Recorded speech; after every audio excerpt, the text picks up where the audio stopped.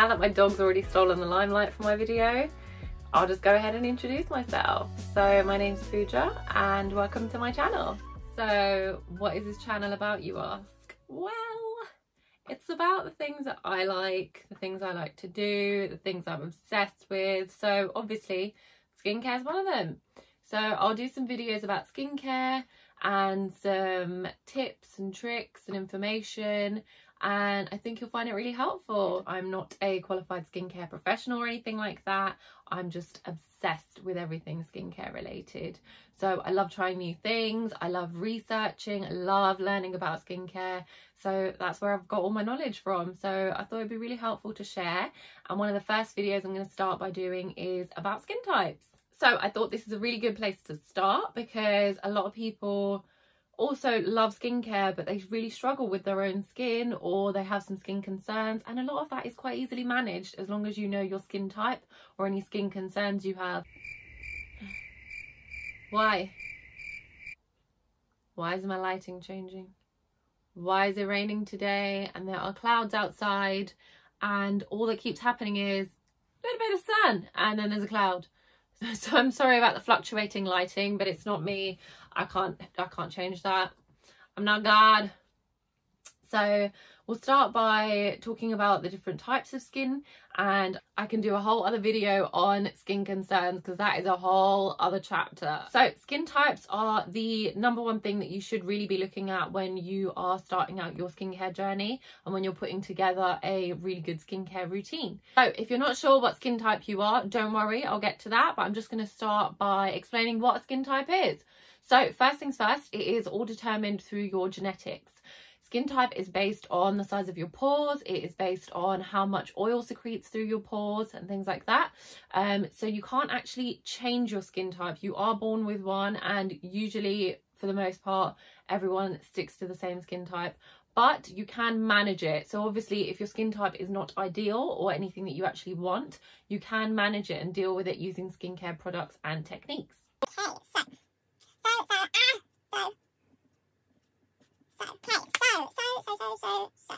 so, skin types. So there are five different skin types and you can either be normal, combination, oily, sensitive or dry. And they are the five categories that everyone falls into. And like I said, there are different ways to manage each one. So I'll go through some of the problems of each one and how to kind of tackle them as well. Okay, so I know that everyone wants to fall in the normal category just because it's nice and easy. Who wouldn't want to just go into the shops and just pick up any skincare, any face cream, any sort of serum and just be okay with it and their skin's just like, oh yeah, it's fine. Yeah, everyone. I do. I would love to.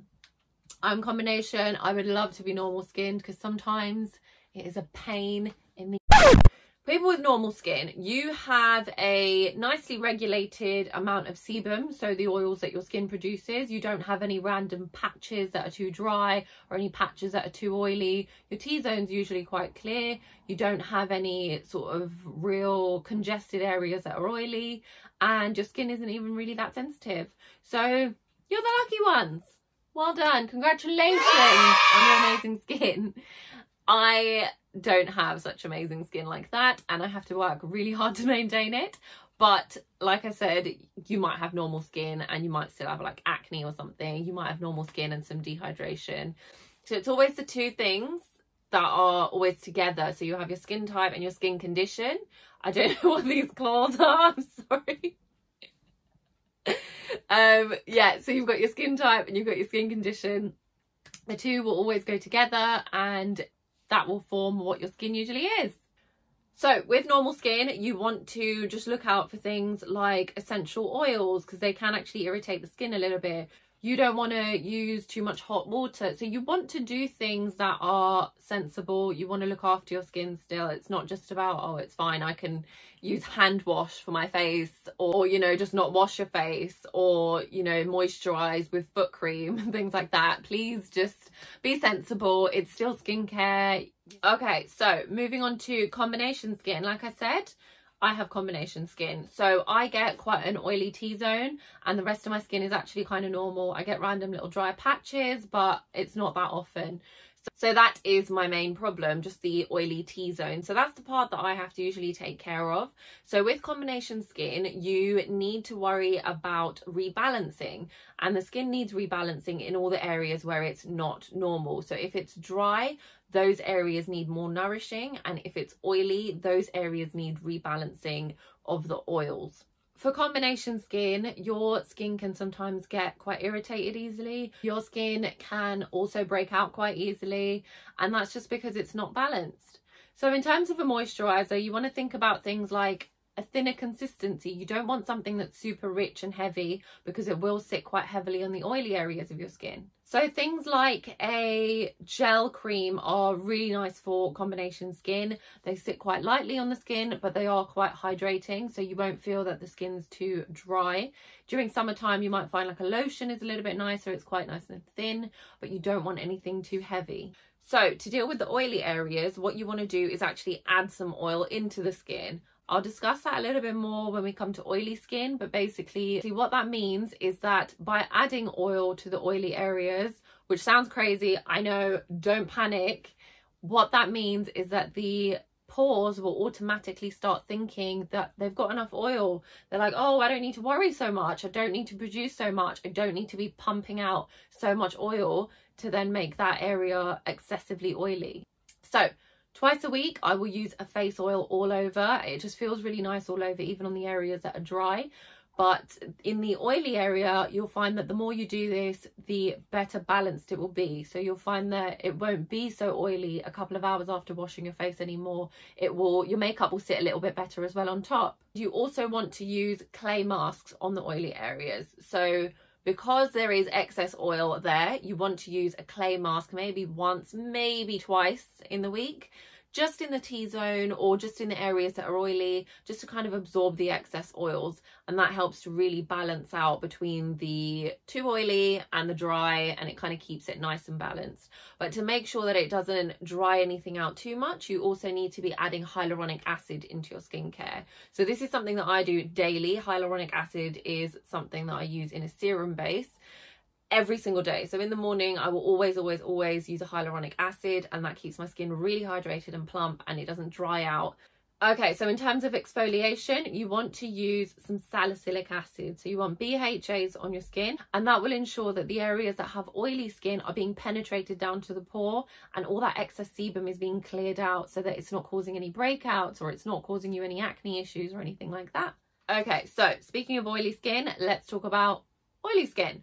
So Oily skin is where your skin can get quite greasy, it's quite shiny. You can have a lot of acne or a lot of breakouts because of this, just because the oils are congesting your pores. You might find that a couple of hours after washing your face, your skin is super oily. You might find that when you put your makeup on, you can bake as much as you want, but that oil will come through.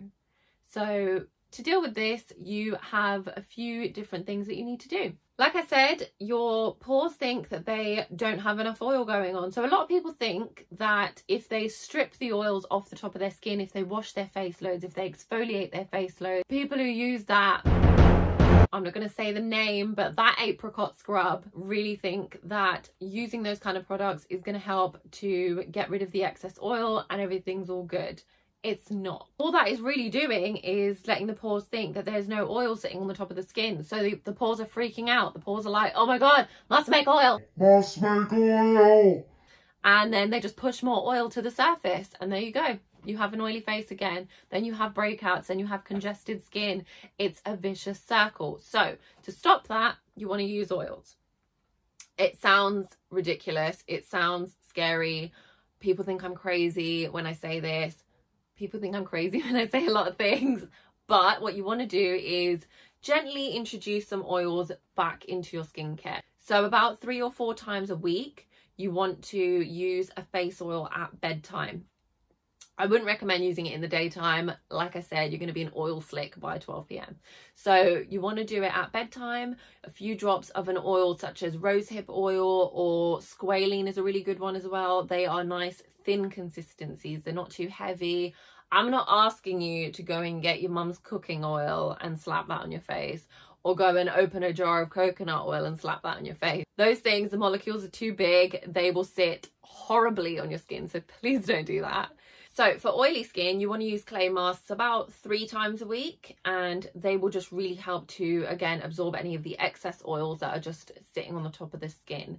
They can be very, very helpful in rebalancing all of your skin, but you don't want to use them too often. You don't want to overdo it and suck all that oil out of the skin again. So in terms of exfoliation, Again, using salicylic acids is really, really good for this skin type, using BHAs. They will really just help to get to the bottom of the pores and clear out any of that excess sebum and really help to decongest the skin. You want to use either an exfoliating toner or you can use it in a gel or like a serum kind of form and using it a few times a week to, to begin with is really, really helpful for oily skin. Okay, so moving on to dry skin. Ain't nobody trying to be dry. So what you want to do is look at your skin and if your skin is flaky, if it is kind of patchy, if you've got areas where there's little patches of dry dead skin, if the surface of your skin is irritated quite easily, it can be red in some areas, sometimes it's a little bit sensitive too. If you have any of that going on, my friend, you have dry skin and I'm sorry.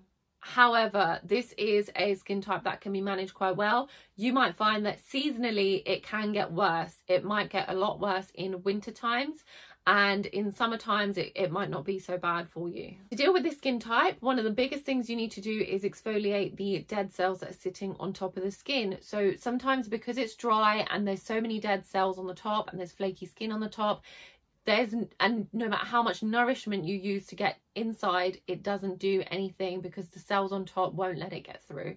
So you got to break them off. So use some AHAs use things like glycolic acid or if you've never used an acid a really good one to start with is lactic acid.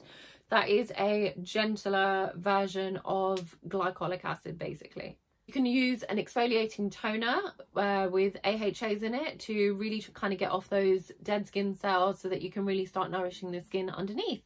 And I'd say do it maybe three to four times a week to begin with and then see how your skin gets on with that. So dry skin is lacking oil.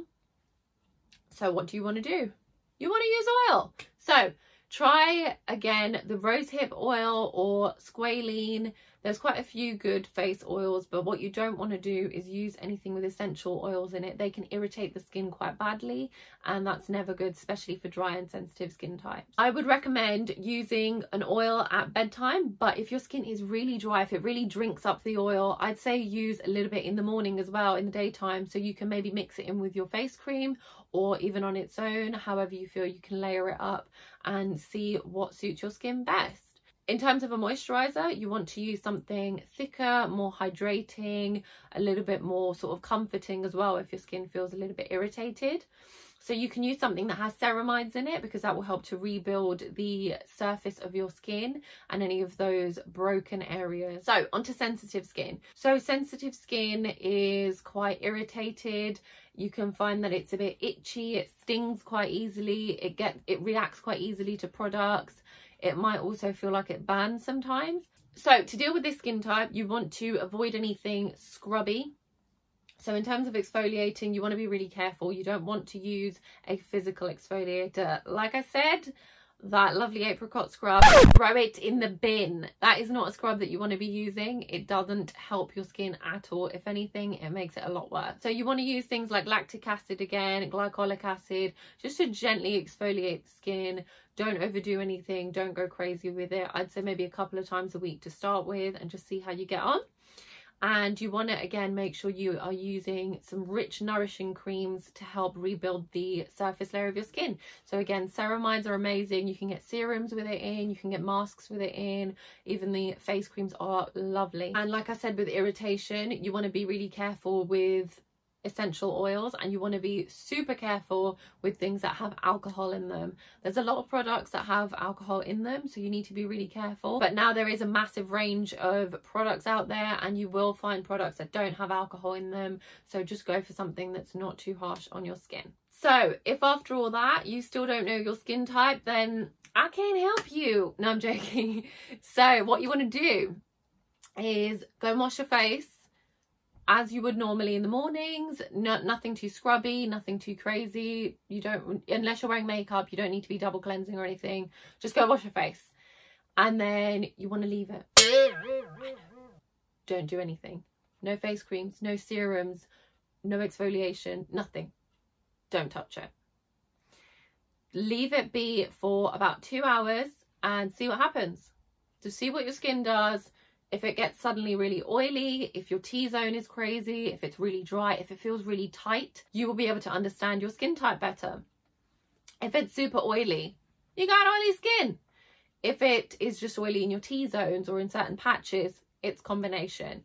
If it is dry all over or it's really tight or your pores are really, really tiny, you have dry skin. If it's none of the above, you have normal skin and you're fine. So according to these things is how you should go and look for your skincare. So there are products targeted for each skin type and I know sometimes it is really overwhelming but there are lots of companies, lots of brands that can really help you with your skin type.